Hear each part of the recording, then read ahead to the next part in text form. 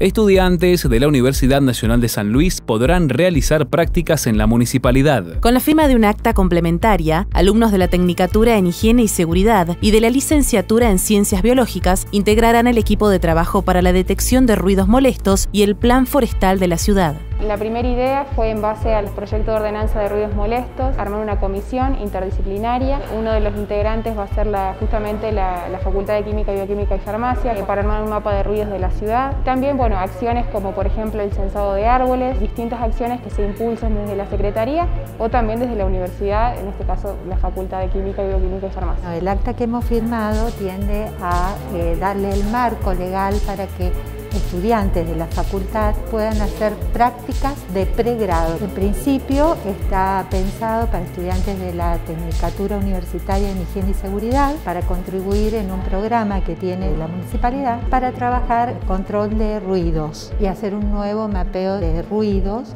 también va a ser extensivo para estudiantes de ciencias biológicas referente al control del arbolado público. Serán prácticas muy interesantes porque les aportan poder conectarse con problemas reales que tiene en este momento la ciudad, el municipio y poder integrarse a eh, eh, un equipo que tienda a mejorar estas situaciones, estudiarlas, mejorarlas.